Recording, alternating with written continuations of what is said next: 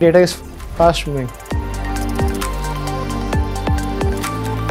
According to the research, 2.5 quintillions bytes of data is produced every second.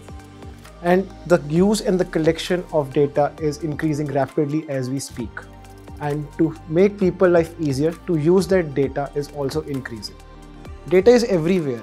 From your watches, it is going to your health, telecommunication, Horeca, and even also financial services. Hey, I am Jalaj. I am from Synechron Amsterdam. I am working in data and analytical practice as senior data engineer. So I'm a big football fan. So I'm quite fascinated about the stats like who scores, number of assists, number of tackles, like small, small data points. And I do my own analysis on my own. And my father is a retired bank manager. So I combine them both. So now I'm working as a senior data engineer in Synechron. I might not know the horoscope, but I can predict the future also using the data.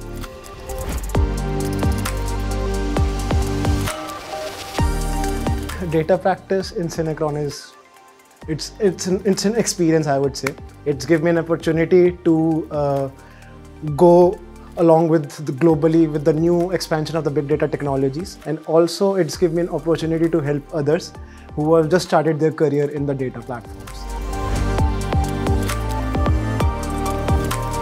Data is like a deep ocean. Uh, people who dived in this particular industry for last 20 years are still trying to figure out the answer what is the future of data. So the opportunities of this industry which is keep on evolving is endless. So i would just say sit back and enjoy